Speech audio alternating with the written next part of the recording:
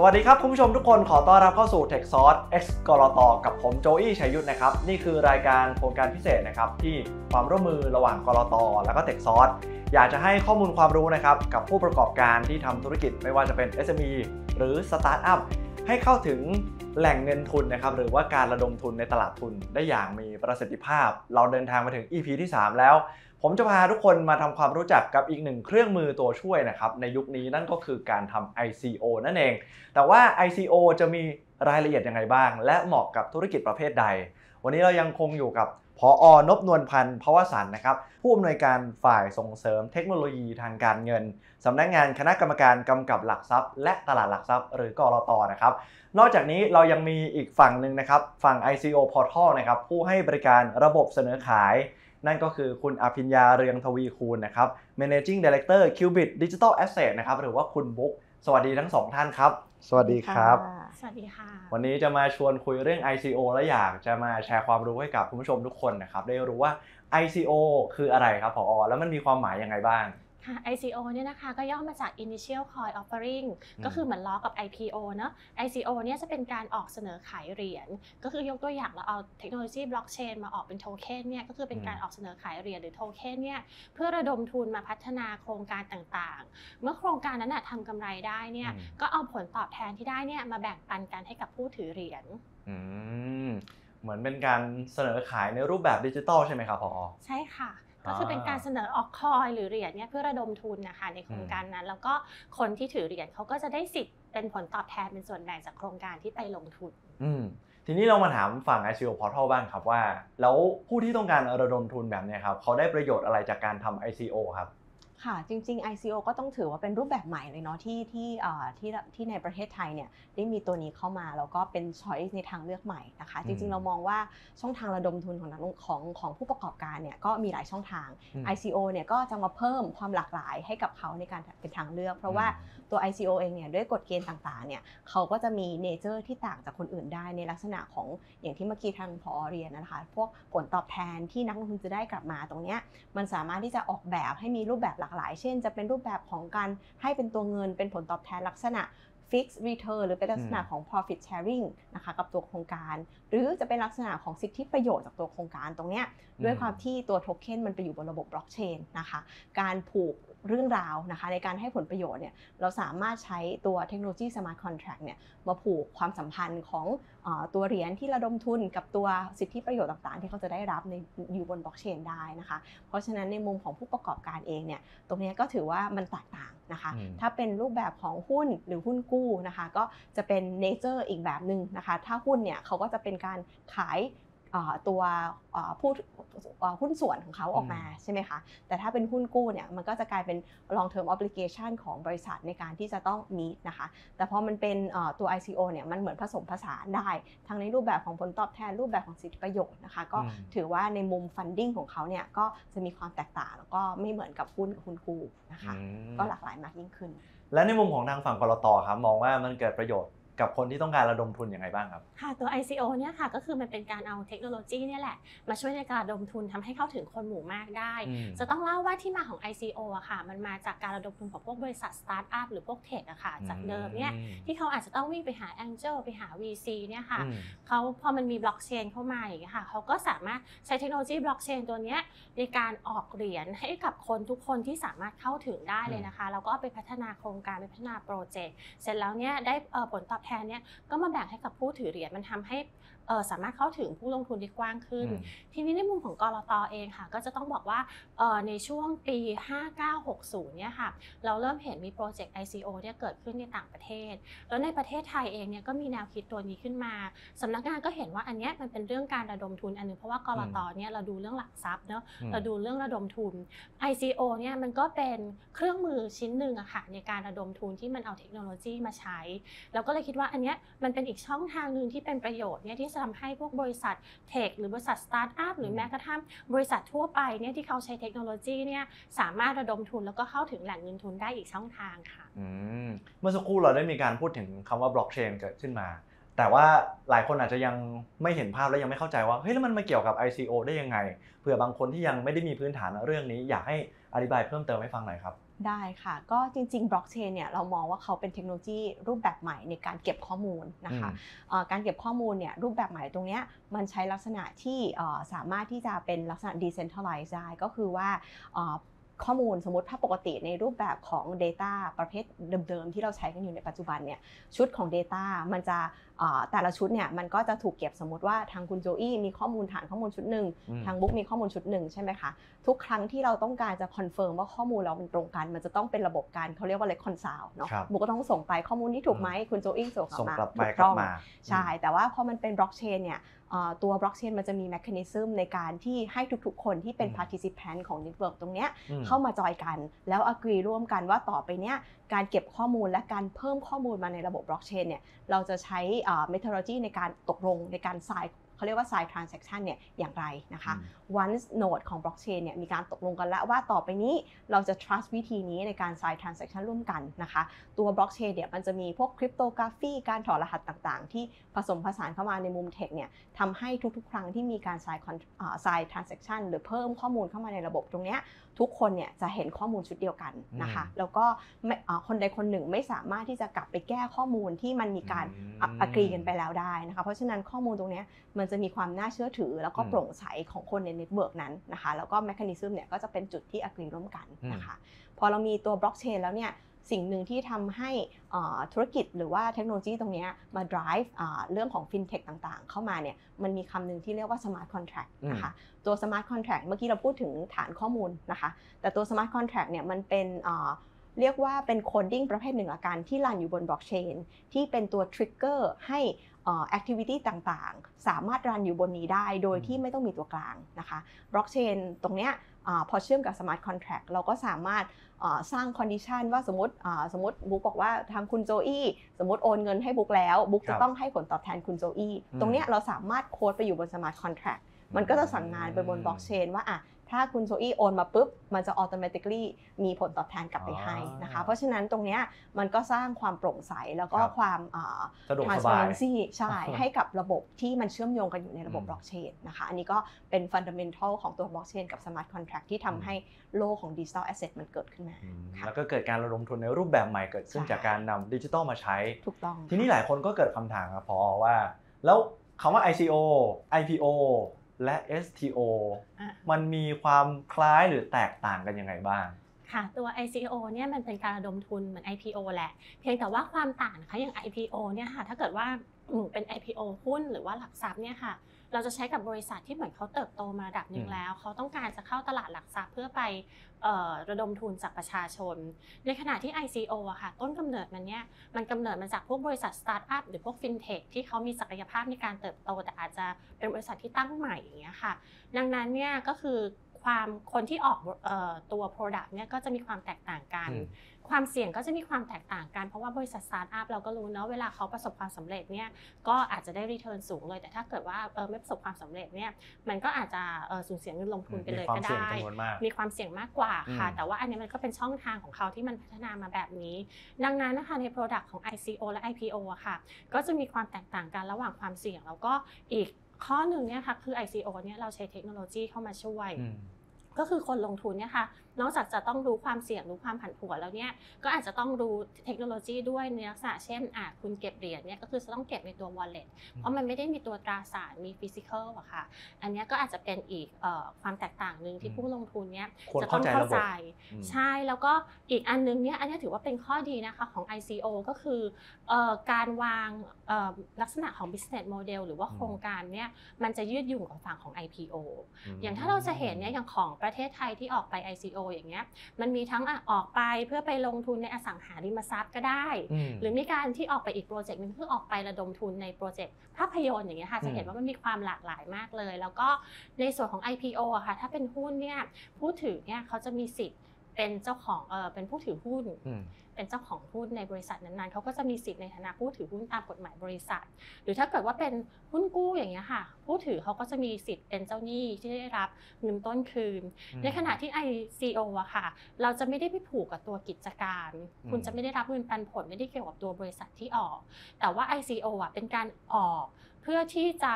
ไปลงทุนในโปรเจกต์นั้นอืมๆและผลตอบแทนเนี่ยมันก็จะผูกอยู่กับโปรเจกต์นั้นๆอืไม่ไม่ได้เกี่ยวกับตัวผลตอบแทนของตัวบริษัท แต่ว่าจะไปโฟกัสที่ตัวโปรเจกต์นั้น เหมือนแยกกับเอ่อผลประกอบการของทั้งบริษัท เราจะดูใช่เพียงค่ะแค่โครงการนั้นๆ ว่าถูกมันต้องสำเร็จหรือไม่สำเร็จใช่ค่ะซึ่ง ICO คือดูที่โครงการนั้นถูกต้องค่ะอ่าแล้วตัวครับผมค่ะถ้าจะเสริมนิดนึงเพราะว่าจะมีคนถามเพิ่งเยอือะมเนาะว่าเอ๊ะแล้วบริษัทที่ เป็น listed company ยังมาทำ ICO ได้ไหมอืมนะคะคำตอบก็คือว่าจริงๆ ICO เนี่ยได้ทั้งบริษัทที่เป็น private company หรือว่าเป็น public company หรือว่าหมายความว่าหุ้นเขา list ไปแล้ว เพราะว่าอย่างที่พอเรียน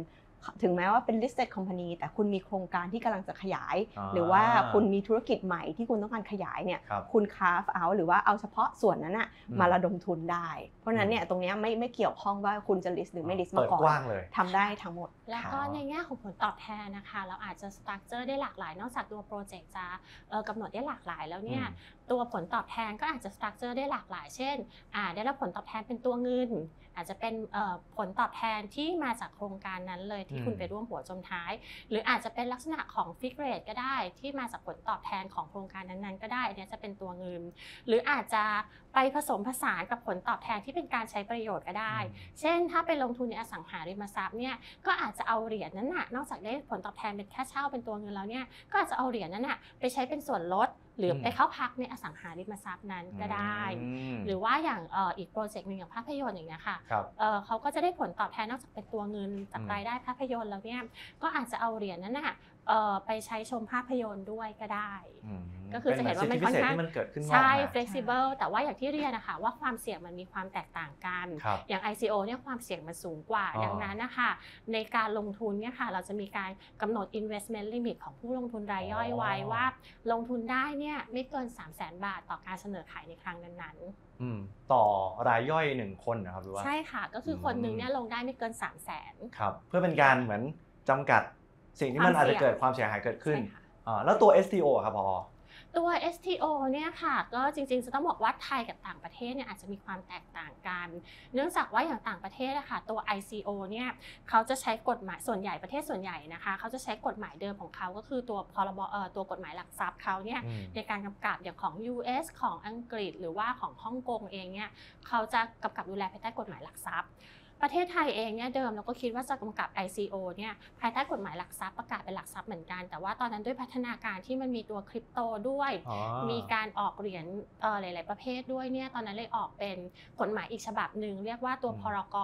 สินทรัพย์ดิจิทัลอืมอ่าตัวเนี้ยเนี่ยค่ะเราก็เลยเรียกเอ่อตัวเนี้ยว่าเป็น ICO เพราะเป็นการออกเหรียญอืมแต่ในต่างประเทศพัฒนาการนะคะพอมันมี ICO แล้วเป็นลักษณะไปลงทุนในโครงจากการเป็นโปรเจกต์เช่นไปพัฒนาบล็อกเชนอย่างนี้ใช่ไหมคะครับเอ่อแล้วมันก็มีพัฒนาการมาเรื่อยๆว่าอ่าถ้าเกิดว่าแบบเอ่อมีการเอา tokenize เนี่ยมาใช้อืม tokenize ทรัพย์สินมา tokenize ตัว security หรือตราสารต่างๆเนี่ยอืมเขาจะเรียกมันว่า STO อื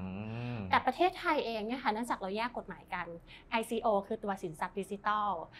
STO เนี่ยค่ะ จะต้องบอกว่าพอเทคโนโลยีบล็อกเชนมันมาเนี่ยมันก็มาใช้กับทุกวงการแหละอืมในฝั่งของหลักทรัพย์เองอะค่ะ ก็มีแนวคิดที่จะนำเอาบล็อกเชนหรือเอาพวกดิจิทัลเนี่ยมาใช้ในฝั่งของหลักทรัพย์เช่นเดียวกันอย่างเดิมเนี่ยเราออกเป็นตราสารถูกไหมคะเป็นใบพอมันมีบล็อกเชนเนี่ยจากตราสารเนี่ย เราก็เปลี่ยนเป็นตัวโทเค็นก็ได้ ซึ่งเมื่อนำบล็อกเชนมาใช้หรือเทคโนโลยีมาใช้เนี่ย เราสามารถออกหลักทรัพย์ที่มันเป็นตัวโทเค็นได้ อันเนี้ยเราก็จะเรียกมันว่า STO ในในแง่ของกฎหมายไทยนะคะ แต่ว่าเอ่อจะเห็นได้ว่าลักษณะมันมีความทับซับทับเอ่อซับซ้อนกันหรือว่าทับซ้อนกัน ซึ่งในตัวกฎหมายของตัวฝั่งที่เป็นสินทรัพย์ดิจิทัลเองเนี่ย เนื่องจากเอ่อ ไม่จำเป็นจะต้องให้ Product เดียวกันเนี่ยถูกกำกับโดย 2 กฎหมาย เขาเลยแยกไว้ว่าถ้า feature ที่ออกเนี่ยเป็น Security คือเป็นหลักทรัพย์ ไม่ว่าคุณจะออกในรูปแบบกระดาษ คุณจะออกในรูปแบบโทเค็นคุณจะต้องถูกกำกับดูแลภายใต้กฎหมายหลักทรัพย์ และเรียกว่าเป็นหลักทรัพย์อ๋อดังนั้น STO เนี่ยค่ะภายใต้กฎหมายไทยเราจะมองว่ามันคือหลักทรัพย์ที่ออกมาในรูปของตัวโทเค็นอ๋อค่ะในขณะที่ ICO เนี่ย ตามกฎหมายเราจะเรียกมันว่าเป็นสินทรัพย์ดิจิทัลหรือเป็นอืมโทเค็นดิจิทัลถูกกำกับดูแลตามกฎหมายกัน แล้วก็โอ้ substan นะคะมันจะมีความแตกต่างกันในรายละเอียดยกตัวอย่างเช่นอย่างหุ้นกู้เนี่ยค่ะเราเอาอืมบล็อกเชนมาใช้ออกหุ้นกู้ อันนั้นเนี่ยเราก็จะเรียกว่ามันเป็น STO ประเภทหนึ่งโโหก็คือเป็นหุ้นกู้ที่แทนที่จะออกเป็นใบคุณก็ออกมาเป็นเหรียญครับค่ะออ๋อมันมีความซับซ้อนเหมือนกันนะครับเนี่ยอ่าเป็นโอ้เป็นในแง่ซับซ้อนในแง่ของกฎหมายอะค่ะครับมันก็เลยอาจจะต่างจากเทอมที่เขาใช้ในทางอืมสากลอืม ทีนี้เราฟังมาถึงขนาดนี้บางคนอยากทราบว่าแล้วจริงๆ แล้วการออก ICO อะครับมันเหมาะกับธุรกิจแบบไหนประเภทใดกันแน่ค่ะพอจะเล่าหรือยกตัวอย่างได้ไหมครับ ได้ค่ะ ก็อย่างที่พอเรียนเนาะว่าที่มาที่ไปมันมันจริงๆ มันแคร์เธอร์สำหรับรูปแบบการลงทุนแบบใหม่ใช่ไหมคะเพราะฉะนั้นน่ะเอ่อผู้ที่สนใจมาระดมทุนเนี่ยจริงๆ เรามองว่าเป็นได้ในทุกๆ ธุรกรรมธุรกิจนะคะหมายถึงว่าอุตสาหกรรมเนี่ยเป็นได้ในหลาย ๆ อุตสาหกรรม เพราะว่ามันไม่ได้มีข้อจำกัดเอาไว้อืมนะคะ แต่ในมุมของผู้ที่ออกเหรียญเนี่ยเอ่อเรามองว่าถ้าเป็นไซต์ธุรกิจนะคะน่าจะเป็นเอ่ออยู่ใน stage ที่เป็นเอ่อกำลังตั้งโครงการใหม่ขึ้นมานะคะอืมอาจจะเป็นไซส์ที่ลักษณะประมาณไซส์กลาง หรือว่าอืมคือจริงๆถึงไซส์ใหญ่เนี่ยก็ยัง ทำได้เหมือนกัน แต่ว่าด้วยความที่ตอนนี้มันเป็น early stage ของ industry นะคะแล้วก็ครับเป็นช่วงที่เราพยายาม educate หรือให้ความรู้กับนักลงทุนนะคะอืมเพราะฉะนั้นในช่วงแรกเนี่ยความเข้าถึงหรือว่าอืมความเข้าใจในเรื่อง digital asset จะยากเนี่ยหน่อยมันยังมันยังอืมไม่ได้อิ่มตัวเหมือนตลาดหุ้นหรือตลาดหุ้นกู้ที่ พูดปุ๊บหุ้นกู้คืออะไรทุกคนเข้าใจ แต่พอมันเป็นเรื่องสินทรัพย์ดิจิทัลเราจะต้อง educate เพราะฉะนั้นครับตรงเนี้ยเราก็มองว่าไซส์มันอาจจะยังไม่ได้ใหญ่เท่ากับการออกหุ้นกู้หรือการทำเอ่อหุ้น IPO นะคะอืมแต่มันสามารถเทียบเคียงกับตลาดแถวๆ MAI หรือว่าเอ่อเป็นไซส์ถ้าเป็นพวกอสังหาริมทรัพย์ตามเกณฑ์เนี่ยถ้าคุณต้องการเอาอสังหาริมทรัพย์มา back เพื่อระดมทุน จริงๆกลตอนุญาตทำตั้งแต่ไซส์ประมาณ 500 ล้านเป็นต้นไปนะคะอืมตรงเนี้ยก็เลยมองว่ามันจะเป็นไซส์หลักหลายร้อยล้านถึงประมาณพันสองพันสามพันตรงเนี้ยนะคะ ที่เป็น range อืมที่น่าจะเหมาะกับในตลาดช่วงปัจจุบันนี้นะคะอืมแต่ว่าในอนาคตเนี่ยพอนักลงทุนฐานใหญ่ขึ้นเรื่อยๆนะคะครับเราก็มองว่า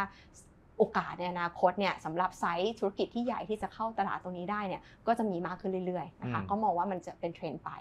ทีนี้อีกมุมหนึ่งที่เอ่ออันนี้อาจจะเป็นในมุมของอาส่วนตัวแล้วก็ในมุมของ Kubix เนี่ยเรามองว่า ด้วยความที่มันเป็นตลาดใหม่นะคะเอ่อเวลาเรานำโครงการหรือว่าเราเอาเอ่อ issuer แบรนด์ที่ส่งออกไปบอกลูกค้าว่าเอ๊ะตอนนี้เรากำลังจะระดมทุนนะคะถ้าเป็นธุรกิจที่มีความเป็น consumer related อยู่แล้วนะคะการเข้าใจว่าเอ๊ะโครงการนี้มันคืออะไร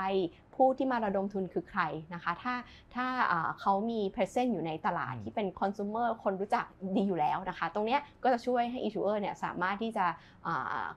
ส่งข้อมูลหรือว่าให้อ่าตัวตลาดหรือนักลงทุนเนี่ยเข้าใจในตัวโครงการ แล้วก็สิ่งที่เขาทำได้ง่ายขึ้นอืมแต่ถ้าเราเป็นธุรกิจที่ค่อนข้างซับซ้อนหน่อยก็ยังทำได้นะคะ แต่ว่าในมุม education เนี่ยอืมอ่าตัว issuer หรือผู้ออกอาจจะต้องทำกันบ้านเยอะหน่อยเนาะอ่าว่าโครงการเราคืออะไรเราอาจจะเป็นโครงการที่ประชาชนทั่วไปอยู่ดี อาจจะยังไม่เคยรู้จักมาก่อนเราก็ต้องมา educate ในมุมนั้นด้วย เพราะว่าสุดท้ายเนี่ยถ้าเราทวิสต์กลับมาในมุมนักลงทุนเนี่ยเขาต้องเข้าใจเนาะว่าโครงการคืออะไรอืมผลตอบแทนเป็นยังไงความน่าจะเกิดอ่า เขาอยากจะลงทุนแล้วเขารับความเสี่ยงได้ไหมพวกนี้สำคัญมากเพราะฉะนั้นนะเรื่องเออประเภทธุรกิจที่เข้าใจง่าย อันนี้อาจจะเป็นเฟสแรกที่เรามองว่าจะเหมาะอืมกับตลาดนี้ แต่มันก็จะ develop ไปเรื่อยๆเนาะความความเข้าใจของความตลาเติดบโตมันจะค่อยๆเป็นใช่ค่อยๆไป ถูกต้องเพแต่ราะว่าในเกณฑ์ไม่ได้กำหนดเนาะอ่าเกณฑ์ไม่ได้ไม่ได้ห้าม แต่ว่าครับมันเป็นเรื่องของเฟสของตลาดที่เราคิดอืมว่ามันกำลังเติบโตไปในอนาคอืตค่ะมแต่ถ้าเกิดจากฟังที่สรุปแล้วอาจจะเข้าใจได้ไหมครับว่าในในช่วงแรกๆเนี่ยจะเป็นช่วงที่บริษัทใน ระดับกลาง ไปจนถึงระดับใหญ่ระดับด้านบนในการออก ICO บางคนเขาบอกว่าการออก ICO ครับค่อนข้างจะมีต้นทุนที่ค่อนข้างสูง อันนี้ในมุมของเรามองเรื่องนี้ยังไงครับ ค่ะ จริงๆ เรามองว่ามันมีในเรื่องของอต้นทุนในมุมของค่าใช้จ่าย แล้วก็ต้นทุนของเรื่องเวลานะคะ เพราะว่าในเรื่องของค่าใช้จ่ายเนี่ยจริง ๆ ต้องบอกว่าด้วยความที่เอ่อ service provider เนาะคนที่เกี่ยวข้องในโครงการของตัว digital asset เนี่ย จะมีทั้งตัว ICO portal ใช่ไหมคะ มีคนที่เป็น auditor ของตัวอืม smart contract ใช่ไหมคะอืแล้วก็จะมีเอ่อ law firm เอ่อสำนักงานกฎหมายครับนะคะสำนักงานภาษีต่างๆ ที่จะต้องเข้าอืมมาช่วยหลายบฝ่าริยษัมาทกเลยใช่ในครับการวิเคราะห์แล้วพอมันเป็นเรื่องใหม่สมมติบริษัทอืมจะออกสิ่งนี้ แล้วเอ๊ะเราจะลงบัญชียังไงอะเราก็ต้องอืมไป consult auditor ละเพราะฉะนั้นเนี่ยพอมันเป็นเรื่องใหม่ ช่วงแรกๆเนี่ยเอ่ออมทุกๆปาร์ตี้เนี่ยก็อาจจะต้องใช้ effort หรือว่าการอืมตีความการทำความเข้าใจค่อนข้างเยอะ มันก็เลยเป็นเหมือน initial cost ตรงเนี้ยอืมในระยะช่วง phase ตรงเนี้ยที่ยังอาจจะไม่ได้เอ่อไม่ได้ถูกขนาดนั้น แต่อืมถามว่ามันก็ยังมีเอ่อ upside downside เนี่ยอืมในมุมสิ่งที่เขาจะได้จากการระดมทุนก็ยังมีประเภทข้อดีให้ก็ยัเห็นมีชัดข้ออยู่ข้อดีอยู่ แต่ถามอืมว่ามันอาจจะยังไม่ใช่เป็นอันที่ cost efficient ที่สุดณวันนี้อ่าแต่วันตลาด develop ไปเหมือนเดิมเลยค่ะ ถ้าวันตลาด develop ไปเนี่ยเราก็เชื่อว่าทุกๆ party ก็จะอืมเอ่อสามารถที่จะมันจะดีขึ้น reduce เรื่อยๆ cost มาเรื่อยๆครับใช่ ตลาดมันก็จะเข้าสู่อ่า efficiency แล้วมันก็อาจจะทำให้อ่าการเข้ามาวิเคราะห์ตัวธุรกิจการอืม filing การ process เทคโนโลยีต่างๆเนี่ยมันอืมมัน up and running ละคราวเนี้ยอืมมันก็จะวิ่งของมันในในมุมที่ cost efficient ได้มากขึ้นนะคะครับแล้วก็ในเรื่องของ time เรื่องของเวลาตรงเมื่อกี้อืมที่ที่เรียนก็คือว่าเพราะว่าการออก ICO เนี่ยตามเกณฑ์กฎหมายแล้วอะเอ่อ issuer เองเนี่ยก็อืมมีหน้าที่รับผิดชอบในการอ่า disclose ให้ข้อมูลกับประชาชนนะคะ มีการต้องมีระบบการจัดการภายในที่เหมาะสมนะคะอืมแล้วก็ต้องมีการดูแลผู้ที่ถือโทเค็นด้วยนะคะอืมเพราะฉะนั้นเนี่ยในองค์กรของ issuer เองจะต้องทำความเข้าใจกฎเกณฑ์อย่างอย่างดีนะคะ ซึ่งอันเนี้ย ICO Portal ก็จะเข้ามาช่วยให้ข้อมูล แต่ว่าฝั่ง issuer เองเนี่ยก็ถือว่าต้อง spend time อืมเพื่อเข้าใจ mechanism ตรงนี้ ตัวเองจะได้ปฏิบัติถูกต้องตามเกณฑ์กฎหมาย แล้วก็เกณฑ์การกำกับดูแลของกรตอืมด้วยนะคะ ก็มี 2 มุมนี้ที่อาจจะครับให้พิจารณาดูอืมค่ะอืม ทีนี้อยากให้พอช่วยเอ่อลงรายละเอียดลึกเพิ่มขึ้นหน่อยครับว่า สมมติว่าถ้าเกิดเราจะทำการ ICO อะครับ จะมีใครที่เข้ามาเกี่ยวข้องในการออกบ้างและในแต่ละท่านมีหน้าที่ยังไงกันบ้างค่ะในฝั่งของ ICO เนี่ยนะคะคนออกเนี่ยก็คืออย่างที่บอกว่าต้องเป็นบริษัทอืมและต้องเป็นบริษัทไทย จะเป็นบริษัทจำกัดก็ได้ มหาชนจำกัดก็ได้ หรือบริษัทจดทะเบียนก็ได้ อันเนี้ยเปิดกว้างได้หมดเพราะว่า t a r g e t เราคือเปิดกว้างอืมแล้วก็เอ่อ การที่เขาจะออก ICO ได้เนี่ยเขาจะต้องอันเนี้ยมันจะต่างจากต่างประเทศนะต่างประเทศอาจจะไม่ต้องมีคนกลาง แต่อันเนี้ยเราต้องการคนหนึ่งที่จะมาช่วยกลันกรองอืมก็คือจะเราจะเรียกว่าตัว ICO Portal หรือผู้ให้บริการระบบเสนอขายโทเค็นดิจิทัล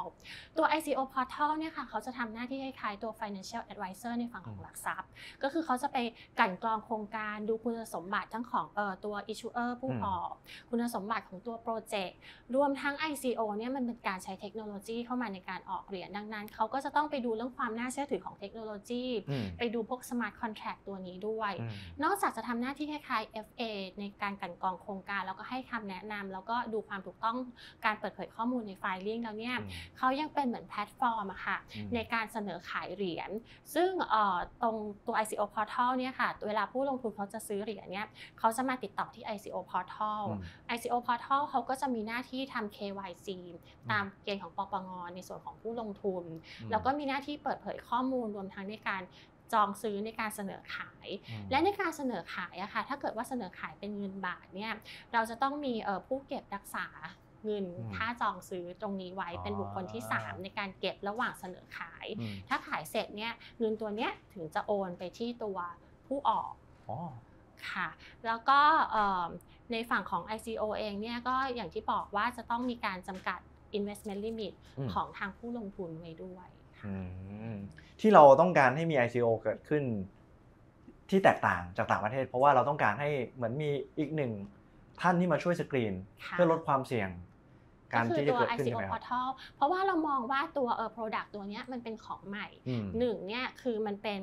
เนื่องจากพัฒนาการมันมาจากตัวกิจการสตาร์ทอัพอืมดังนั้นความเสี่ยงมันจะสูง ถ้าครับโปรเจกต์สำเร็จคุณคือได้เงิน โปรเจกต์ไม่สำเร็จอืมคุณอาจจะสูญเสียเงินต้นทั้งจำนวนอืมก็ได้ แล้วก็โปรเจกต์เนี้ยมันเป็นการใช้เทคโนโลยีมาออกอืมลักษณะเทคโนโลยีมันก็เป็นของใหม่ผู้ลงทุนอืมเนี่ยเขาก็จะต้อง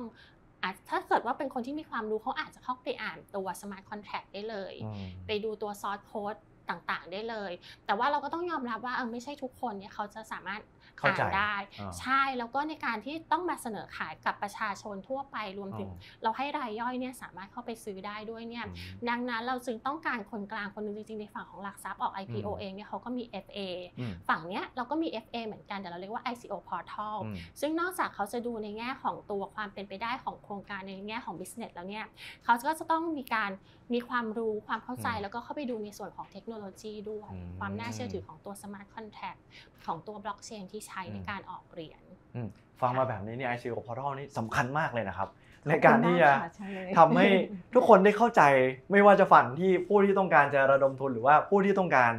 จะเข้ามาซื้อเหรียญพอครับแล้วในมุมของผู้ที่ต้องการจะมา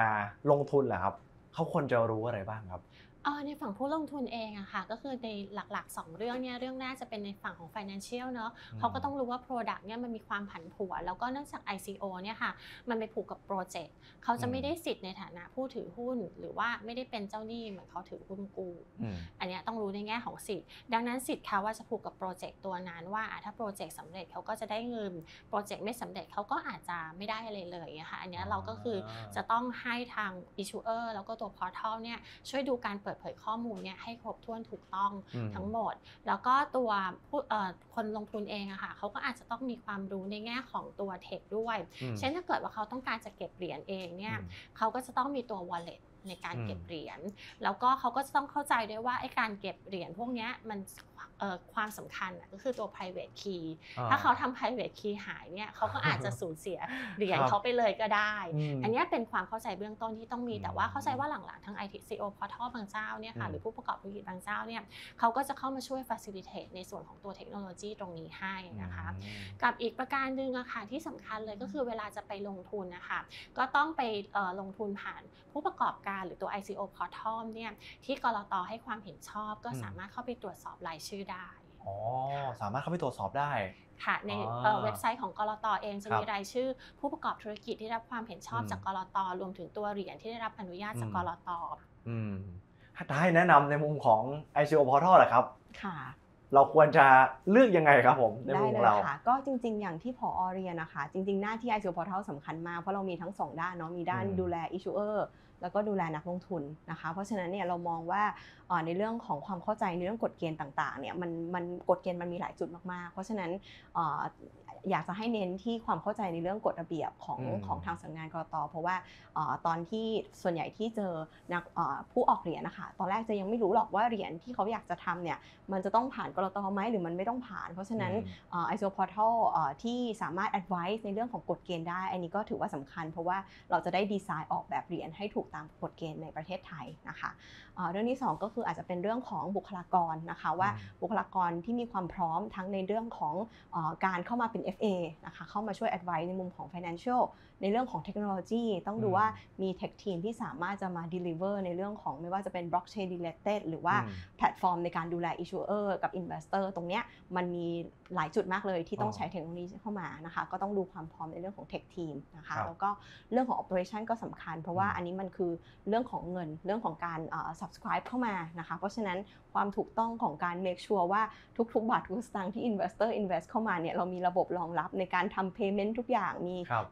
รับ custodian ที่มารับรอรับเงินนะคะอ่าดูแลเงินของคุณไว้ทั้งในมุม investor ทั้งในมุม issuer เนี่ยมันมีตัวกลางที่ trustworthy ขึ้นมาตรงเนี้ยระบบทั้งหมดตรงนี้ในความพร้อมของ operation ตรงนี้ก็มีอืมความสำเหมืคัอญนให้มันสะดวกสบายแล้วก็ปลอดภัยใช่ค่ะ แล้วก็สุดอืมท้ายเลยเนี่ยนักลงทุนเองเนี่ยก็เป็นกลุ่มอ่าเราถือว่าเรากับ issuer เนี่ยเราต้องไปหานักลงทุนเพื่อมาลงทุนใช่ไหมคะเพราะฉะนั้นน่ะในมุม issuer เองก็ต้องเลือกแพลตฟอร์มที่ให้ความสะดวกสบายกับนักลงทุนได้มากที่สุดอืมเพราะว่าเอ่อตัวนักลงทุนเองเป็นคีย์เลยเนาะเราต้องการครับระดมทุนจากเขา เพราะฉะนั้น เอ่อเรื่อง customer service เรื่องเอ่อตัว